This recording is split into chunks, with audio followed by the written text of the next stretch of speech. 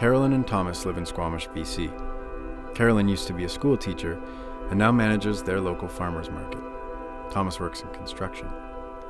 For them, having a high quality of life means having the time to enjoy everyday pleasures, like their passion for sustainable food.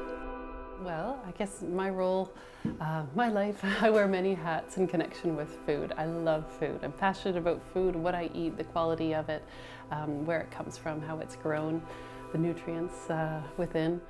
My connection to food is, I would say, I'm a foodie. I like to eat good, healthy, nutritious food, and mm. I love to grow my own food. So, and with this property, we've we've made a resolution uh, quite a few years ago that we would only buy plants and plant things that we can eat. We have apple trees, pear trees, plum trees, Italian prunes, cherries, figs, and uh, going to the berries, we grow strawberries, we go uh, kiwi grapes, regular grapes, raspberry, black currant, red currant, white currant. And then, and then we have all of our annuals. So we've got mm -hmm. lots of uh, huge garden for edible uh, annual produce. So whether it's our greens year round or our uh, beans, our peas, our radish, our potatoes, our tomatoes, our peppers, uh, garlic, leeks. One of my hats is that I work as the manager of the community garden in town and we have all sorts of families, uh, seniors, individuals that have taken on a plot and it's kind of funny to hear a lot of them say, oh, that's so big, 120 by 4 foot. and it's like, don't you worry, you can fill that up in no time. And, and so that's been a passion of mine, just to watch the joy that they get out of taking this small space and having that contribution.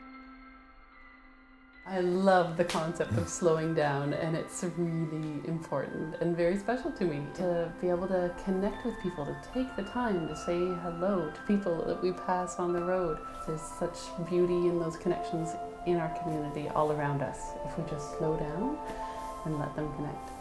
Yeah, I would say, yeah, happiness comes from within and to find the inner happiness, you have to slow down. The idea of slowing down is appealing to others too, both the pace of life and the pace of our consumption. I think being being willing to not go out and, and, and buy something the instant you need it, but see if you can figure out how to how to make do with what you have already. Um, so really slowing down with our um, knee-jerk reaction to just buy something new. Slowing down is really nice, and slowing down has a real impact on on the world um, on the environment.